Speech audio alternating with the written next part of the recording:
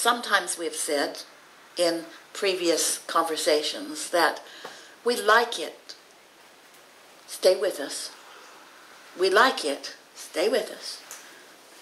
We like it when you get your back up against a wall sometimes because that causes you to launch rockets and it also causes you to focus. And what we mean by that, it causes you to do more deliberately what you came here to do. You are a powerful creator. You are pure, positive energy in a physical body. You are a creative genius. You are a brilliant creator. And not one of you said, well, I'll go forth into a physical existence. I'll go forth into a human body. But get it all cleaned up first. Get it all looking really good.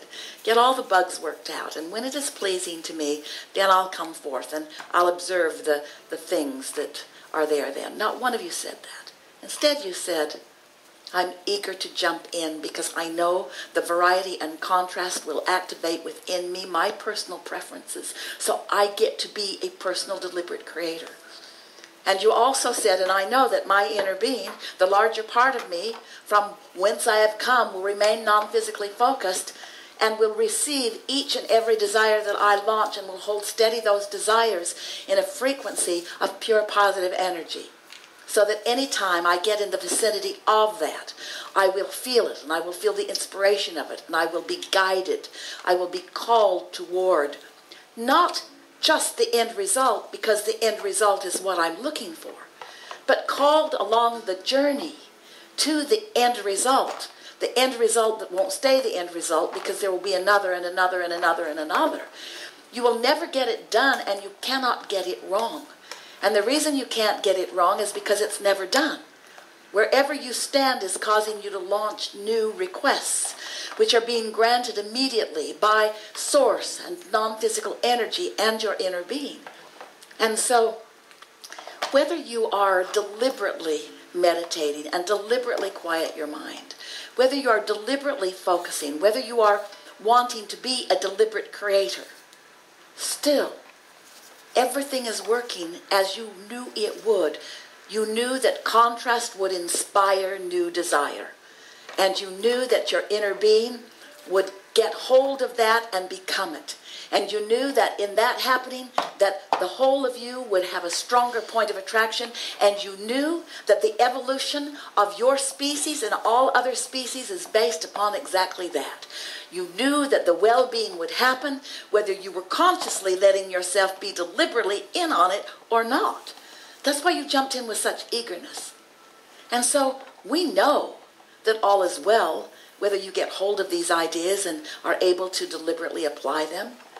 But we want you to feel not just the ease of relief, we want you to feel the delicious satisfaction of being a hands in the clay, deliberate creator.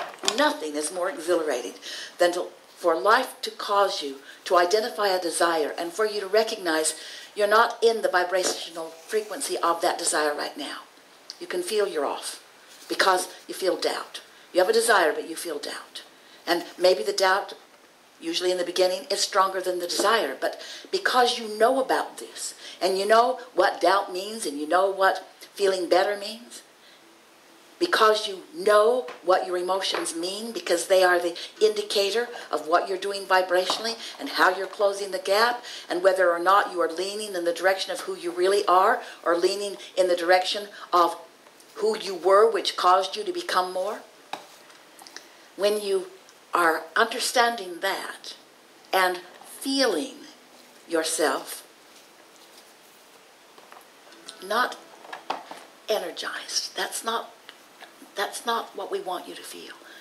Feel yourself, feel yourself called. And trust, even before the evidence, that we've got you. Your vortex has you. It is you.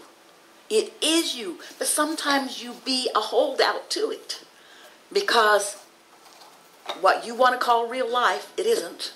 What you want to call real life, because it's manifested, has your attention and has got you right now just for a little bit pinched off from the whole of who you are. Imagine you or the people you love, or imagine a world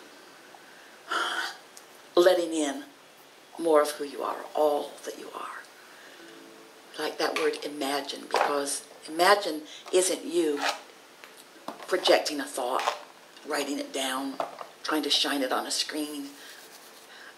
Imaging, imagining is you in the receiving mode, receiving blocks of thought from that larger part of you, and those thoughts being translated by you because you're in the receiving mode into images.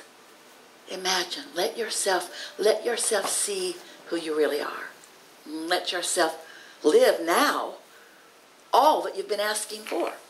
So, do we know that you're going to get it? We do. And do we know that you're going to get down the road and look back and acknowledge how much how much has happened within you because of these manifested old news times? Yeah. Yeah. You're on the cusp of uh, a reawakening. A reawakening to who you are, to all that you are. But don't misunderstand us. We're not asking you to do this so that you can create more stuff, but you will. That's good or so that you can have more things, but you will, and that's good. We want you to feel like you intended to feel when you decided to come. You know how you feel when somebody else has an idea of something that you should do and directs you? And sometimes you're willing to be cooperative and you will do it. And sometimes not feeling that great about it. Sometimes just doing it because somebody's asking you to do it and, and it's a path of least resistance not to evoke their wrath, so you just do it. But you still have resistance within you while you're doing it. You're not doing it willingly, you're doing it, but not really willingly. That does not feel good.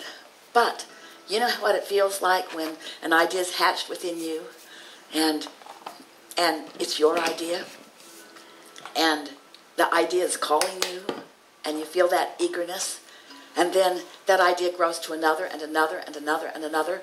That's how you're supposed to feel. Life is supposed to be fun. That's what satisfaction is. Satisfaction is not you closing the gap between somebody else and what they want for you to do for them.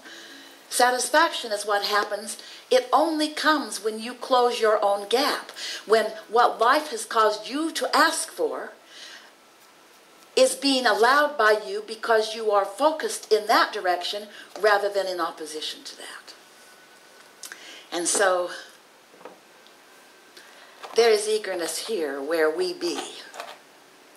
We feel eagerness about the newness that you have created and about the closing of the gap that you are upon and about, most of all, the independent exhilaration that you will feel as you allow yourself to be in on your creation. Much of the world launches rockets and doesn't go toward them. That doesn't feel good. Much of the world launches rockets of desire and feel like they can't go toward them and then looks for others to blame about why they're not able to do or receive what they want. But you live in a vibrational universe. It's a universe that is attraction based, and you are a vibrating being, and the law of attraction is responding to your vibration. So everything that comes to you is being invited by you, whether you meant to do it or not sometimes people don't like to hear that and they'll say, I wouldn't have attracted that to me. I don't want that. And we say, we didn't say you wanted it, but we do say you attracted it by your attention to it.